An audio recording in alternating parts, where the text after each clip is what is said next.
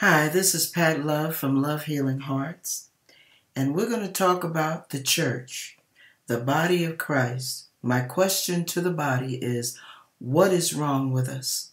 Why are we so sick, crippled, and lame? Why so damaged? Why do we do so much damage? You know, sometimes we don't understand what we do and why people don't want to come into the body of Christ, what people look at, what they see that turns them off. Well, I want to ask you this. Why is there so much occurrences of saints laughing at saints? Church folk laughing at church folk, making fun of church folk, putting down church folk, criticizing. Why is there so much disrespect? I can't understand how we can ever get on one accord when we're constantly on each other's last nerve. The unforgiveness level is so low you can almost not see it in some cases. And then there are other cases where the saints who are really trying are forgiving and forgiving and forgiving and forgiving and forgiving. And in exchange or in return for their forgiveness and their mercy, they get disrespected and disrespected and disrespected and laughed at and disrespected and talked about and disrespected and whizzy whizzied about. What is going on? We are sick, you guys. That's not a sign of a healthy church. We need God's healing. Do you realize that? We need God's healing. And it's so sad.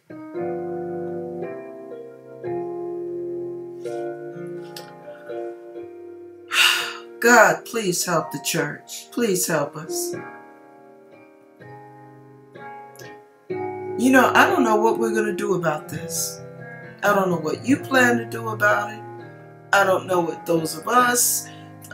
I, I just don't get. I don't get what pleasure you get in hurting or belittling. Why are some of you leaders so controlling? What is up with that? What are you afraid of? Fear has torment. Fear is not of God. Perfect love casts out fear. And if you're really operating in the spirit, you don't need control. It's not yours anyway to control. Now is it?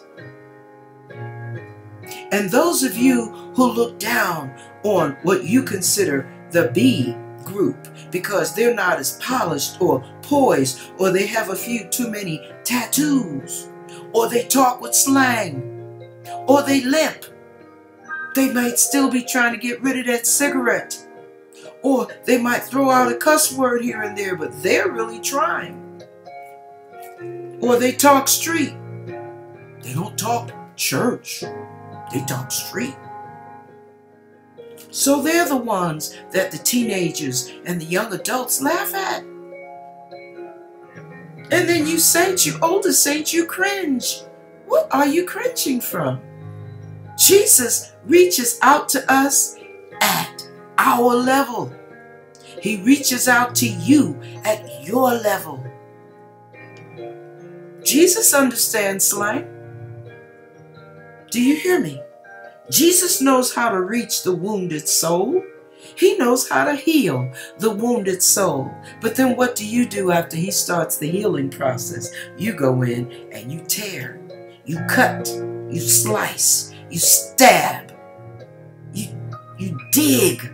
What is that? Why? Why do you need to do that? What is sick inside of you that you need to hurt and cripple someone else? Why? Come on, saints, let's stop. Please, let's stop. Let's learn what love is. What love really is love, forgiveness, mercy, unconditional love and acceptance, and patience with one another. Let's heal. Let's help each other heal. You don't know how? Go to God. Say things like this Lord, help me love the way you love. Help me not think less of someone else and more of myself. Get rid of my own nasty pride. In the name of Jesus, heal my heart. I'm damaged goods too. Mine just doesn't show as much as theirs because I learned to camouflage it. And they haven't yet. Well, Lord, help us all heal each other. Help us all heal together. In the name of Jesus, I pray, Lord. I need your healing. We need your healing. Saints, please let's heal so that the world will see the love we have for each other and want a part of what we have. Because there is so much to God, His power and His love, that if we would just get our ugliness out of the way, people would want what we have. Do you hear me? Let us break bread together on our knees. Let us break bread together in love. Us rightly discern the body of Christ in the name of Jesus. Please. Thank you very much.